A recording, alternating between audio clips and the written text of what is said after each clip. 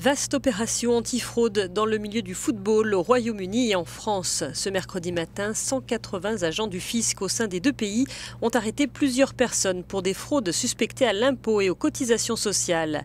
Les villes et les clubs concernés par ces opérations n'ont pas été précisés. Le fisc britannique a affirmé avoir saisi des dossiers d'entreprises et financiers ainsi que des ordinateurs et des téléphones portables.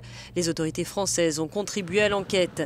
Selon la presse britannique, les clubs de West Ham United et de Newcastle United ont été visés.